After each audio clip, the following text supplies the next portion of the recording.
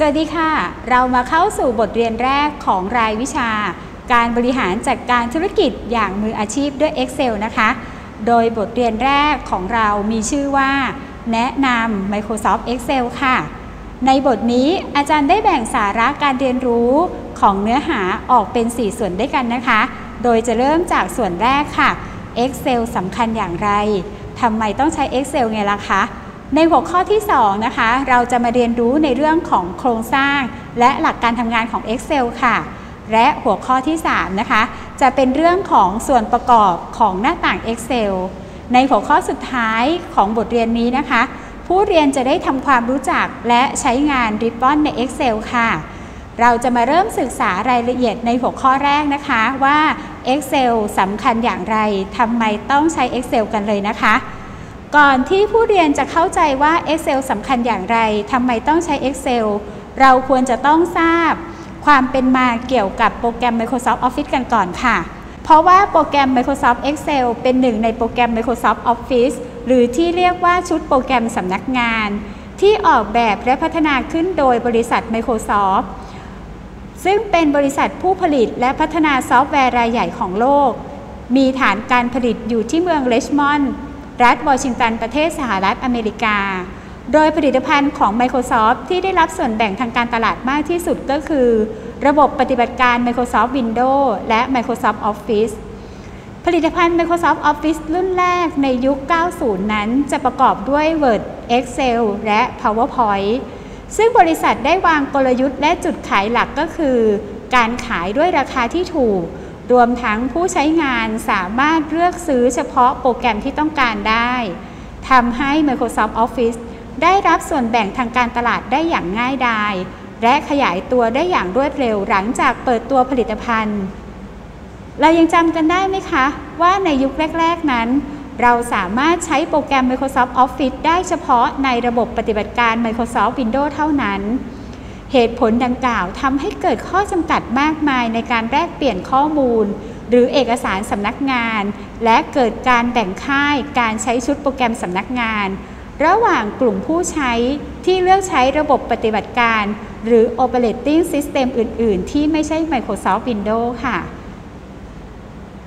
ด้วยเหตุผลดังกล่าวทำให้บริษัท Microsoft มีความพยายามที่จะไม่หยุดยั้งในการเป็นผู้ครองตลาดกลุ่มผู้ใช้งานในชุดโปรแกรมสำนักงานให้ได้มากที่สุดในโลก บริษัท Microsoft จึงได้พยายามปรับปรุงคุณสมบัติ และความสามารถต่างๆ ของ Microsoft Office อย่างต่อเนื่อง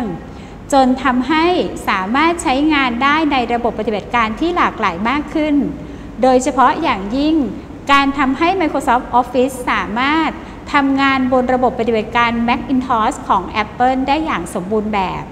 โดยเฉพาะฟังก์ชันการใช้งานต่างๆ ของ Microsoft Office ชนิดที่เรียกได้ว่าไม่มีความแตกต่างกับการใช้งานบนระบบปฏิบัติการ Microsoft Windows เลยค่ะ รวมถึงการส่งเสริมให้สามารถใช้บริการต่างๆ ผ่านทางระบบเครือข่าย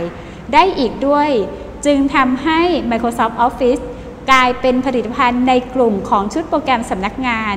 ที่ได้รับส่วนแบ่งทางการตลาดมากที่สุดจนถึงปัจจุบัน และโปรแกรมยอดนิยมของ Microsoft Office มีอะไรบ้างล่ะคะ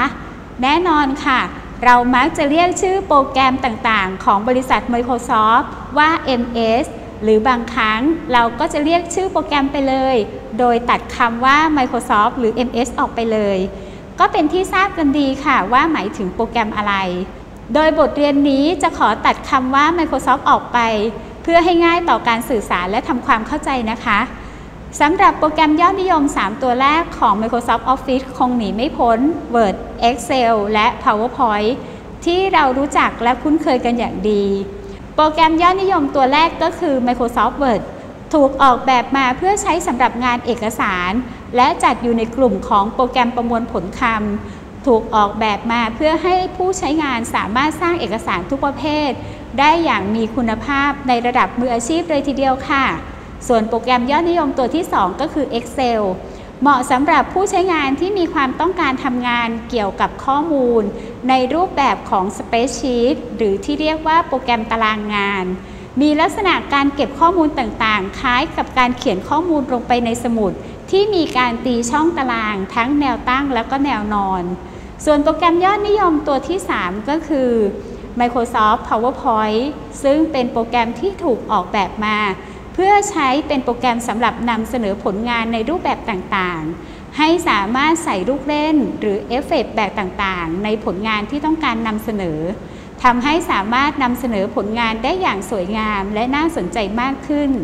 นอกจากนี้ยังมีโปรแกรม Microsoft Outlook และ Microsoft OneNote ที่สามารถมาช่วยรองรับการทำงานในด้านการจัดส่งจดหมายอิเล็กทรอนิกส์และการจด short note ต่างๆ ได้อย่างรวดเร็วไงล่ะคะ แล้วทำไมต้องเลือกใช้ Excel ล่ะคะ Excel มีประโยชน์อย่างไรบ้าง ถ้าท่านเป็นผู้ประกอบการรายใหม่ ในยุคเศรษฐกิจดิจิทัล ซึ่งเป็นยุคที่มีการแข่งขันทางการตลาดสูงมาก แน่นอนท่านจะต้องมีความต้องการนำข้อมูลต่างๆ ทั้งในและนอกองค์กรมาใช้ประโยชน์ เพื่อสร้างความได้เปรียบในการแข่งขันและตัดสินใจต่างๆ ประกอบกับการแข่งขันทางธุรกิจในยุคเศรษฐกิจดิจิทัล ที่เรียกว่ายุคของ Big Data หรือยุคอภิมหาข้อมูล เป็นยุคที่มีการแข่งขันที่ต้องอาศัยข้อมูล ที่มีทั้งขนาดและปริมาณรายการข้อมูลที่หลากหลาย รวมทั้งมีการเพิ่มขึ้นและเปลี่ยนแปลงอย่างรวดเร็ว ดังนั้นชุดโปรแกรมสำนักงานที่มีความเหมาะสมมากที่สุดสำหรับนำไปใช้ในการบริหารจัดการองค์กรธุรกิจอย่างมืออาชีพ ในสภาวะการปัจจุบันก็คือ Excel เนื่องจาก Excel มีคุณสมบัติและความสามารถที่หลากหลาย รองรับการจัดการในองค์กรธุรกิจได้เป็นอย่างดีค่ะ แล้วความสามารถของโปรแกรม Microsoft Excel มีอะไรบ้างล่ะคะ ในที่นี้จะขอกล่าวถึงความสามารถของโปรแกรม Excel 5 ประการด้วยกันดังนี้นะคะ ประการแรก Excel มีความสามารถด้านการคำนวณ ซึ่ง Excel ถูกออกแบบมาให้สามารถสร้างสูตรต่างๆ และรองรับการคำนวณทางคณิตศาสตร์ได้อย่างมากมาย ประการที่ 2 Excel มีความสามารถในการสร้างรายงาน ซึ่ง Excel ถูกออกแบบมาให้สามารถสร้างรายงานสรุปผลในมุมมองต่างๆ ไม่ว่าจะเป็น ตารางสรุปยอดขาย ตารางสรุปข้อมูลสินค้า สรุปงบดุล สรุปแผนการผลิต สรุปข้อมูลการขาดลามาสายของพนักงานเป็นต้น ดังนั้น Excel จึงเหมาะอย่างยิ่งสำหรับองค์กรธุรกิจ ประการที่ 3 Excel มีความสามารถในการจัดการข้อมูลและฐานข้อมูล โดย Excel ถูกออกแบบมาให้สามารถจัดกลุ่มของข้อมูลข่าวสารเข้าไว้ด้วยกัน ในรูปแบบของตารางที่มีลักษณะ ของการจัดเก็บข้อมูล เช่นเดียวกับการจัดเก็บข้อมูลในฐานข้อมูล โดยแต่ละแถวของรายการข้อมูลจะหมายถึงระเบียนหรือเลคคอร์ดและแต่ละคอลัมน์จะหมายถึงฟิลของข้อมูลไงล่ะคะ ประการที่ 4 Excel มีความสามารถในการจัดรูปแบบตามเงื่อนไขที่ผู้ใช้ต้องการ Excel ถูกออกแบบมาให้ผู้ใช้ สามารถจัดรูปแบบตามที่ต้องการได้ โดยจะช่วยให้ผู้ใช้งานได้รับความสะดวกมากยิ่งขึ้น สามารถค้นหารูปแบบ แล้วก็แนวโน้มของข้อมูลที่มีอยู่ในเอกสารได้อย่างง่ายดายและมีประสิทธิภาพ และประการสุดท้าย Excel มีความสามารถในการนำเสนอข้อมูล Excel จะสามารถรองรับการสร้างกราฟ การนำเสนอข้อมูลในรูปแบบต่างๆ ไม่ว่าจะเป็นกราฟแท่ง กราฟเส้น กราฟวงกลม ทั้งในรูปแบบของ 2 มิติและ 3 มิติ รวมทั้งในรูปแบบอื่น ๆ ได้อย่างมากมายเลยค่ะ เห็นหรือยังคะว่า Excel มีประโยชน์หลายประการตามที่กล่าวมาแล้วในข้างต้นไงคะซึ่งสามารถสรุปลักษณะของงานที่สามารถนำ Excel ไปใช้ประโยชน์ได้ดังนี้นะคะ งานที่เราสามารถนำ Excel ไปใช้ได้ก็คือ งานทางด้านบัญชี ด้านการเงิน ด้านการวางแผน ด้านงบประมาณ ด้านสถิติ และด้านวิศวกรรมศาสตร์เนี่ยละคะเป็นยังไงกันบ้างคะ มาถึงตอนนี้ผู้เรียนได้ทราบถึงเหตุผล ความสำคัญ และความจำเป็นในการนำ Excel มาใช้ในองค์กรธุรกิจกันแล้วใช่ไหมคะ ในหัวข้อถัดไปนะคะ เราจะได้เรียนรู้กันต่อในเรื่องของโครงสร้างและหลักการทำงานของ Excel ค่ะ